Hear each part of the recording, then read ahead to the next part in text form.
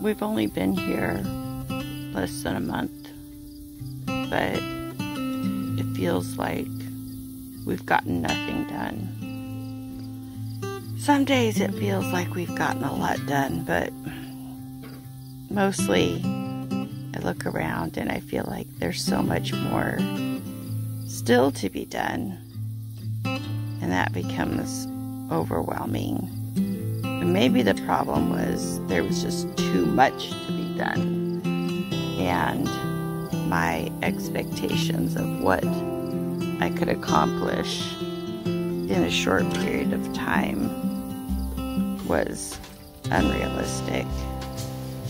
Um, I've never started a flower farm before, and the amount of cleanup and maintenance that has had to happen prior to actually starting, prior to actually putting seeds in the ground, has been much more than I was expecting. And having to wait on people to come in and do their part. All of the items that needed checked off the list were short. Uh, to have a brush hog come out, I think it took four days. But that was four more days. And when I ordered dirt, that took three or four days, which was three or four days. And that was nobody's fault. That was the weather. It had rained. And when I needed a mower, ours was broken. And so that took a day or two to get fixed. And none of these things took a long time. But when you add them up, it was enough time. Enough time that I feel hurried, that I feel like I haven't accomplished anything, that I feel looming deadlines that there's no way I can meet. And so I've had to come to the conclusion that I need to push some of my expectations back on the timeline. Here is a bed that we started, but I didn't have a mower or a tractor or anything. And dirt was delivered, and I wanted to get started, so I used the wagon to bring all of this dirt over. And then it was just too hot. It was too hot to be pulling wagonfuls of dirt and then we had storms, and every day we had storms. So some things just couldn't get done because of the rain, and other things can't get done when it's 101 degrees and crazy humidity. Here's an arbor that we ordered, and it sat in the yard so long that the cardboard rotted. There's some bricks that I need to put on the paper when we plant the pumpkins. The pumpkins are still in the sunroom. And uh, need to mow and I need to probably wait till the pumpkins are a little older. There's straw and a fire pit. The fire pit needs to be placed in the center of the flower field, which means we need to measure. There's the dirt out there, which will someday get moved when we rent a front loader. But nobody wants to use a front loader when it's 101 degrees out. So we wait, and we'll wait just a little bit longer. And in the meantime, we'll enjoy the views while trying to remain calm about the future because we can't control the future. And I keep trying to remind myself that everything will come in its own good time.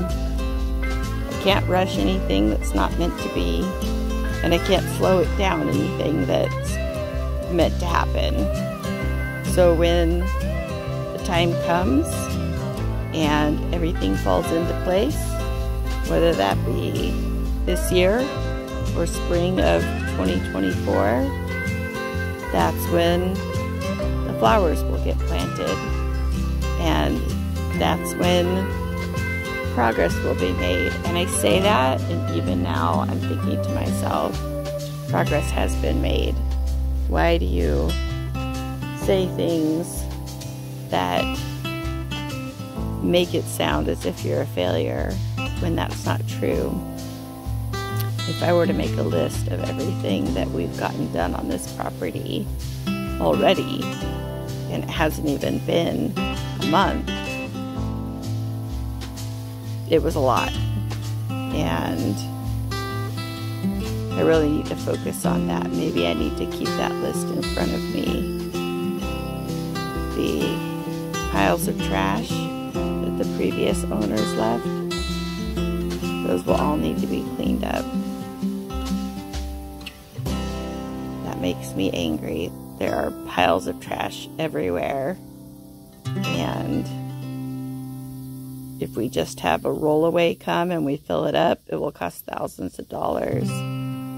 Thousands of dollars that I'd rather spend on getting the flower farm up and working and not cleaning up the mess that someone else left behind. In the meantime, I need to slow down and enjoy our property and enjoy the freedom that we have here. And the sunsets I get to enjoy every night. And the calm that we all feel being out away from the city, able to enjoy some quiet without crazy neighbors burning things or chopping things or yelling or letting off fireworks. All the things that happen when you live right in the middle of a neighborhood on a quarter acre lot next to everybody else with their quarter acre, their little yards. Now I can take a walk in peace with a cat and nobody's talking to me nobody's complaining about work or their family or whatever's going on in their house. You can just have peace and enjoy the sunset.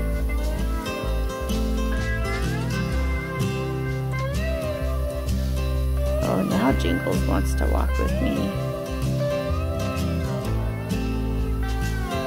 Checking on things to remind myself of everything that's been accomplished. Today I worked on writing a grant and a grant proposal and started thinking about our one year, three year, and five year plans for this flower farm. And I'm excited. It all seems very attainable. If not today, someday in the future.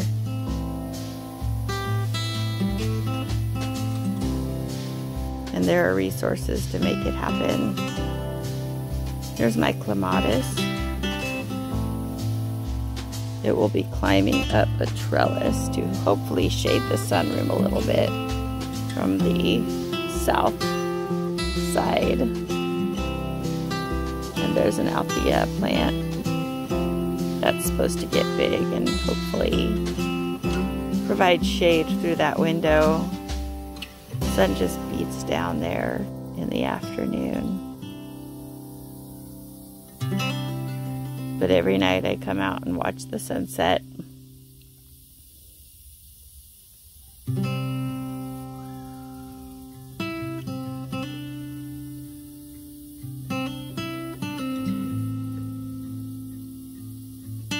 Quinn enjoys the night air. It's so hot out here. He doesn't have a great time during the day. Rabbits don't like heat. He's a sweet boy.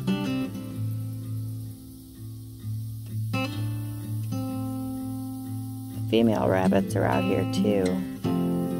They all become active at dusk. Now I have two kitty friends following me.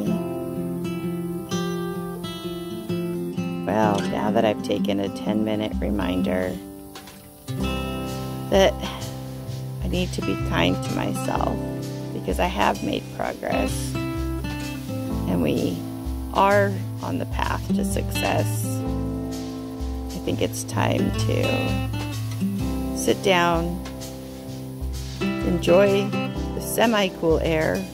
We were outside a little bit today, but it was so hot.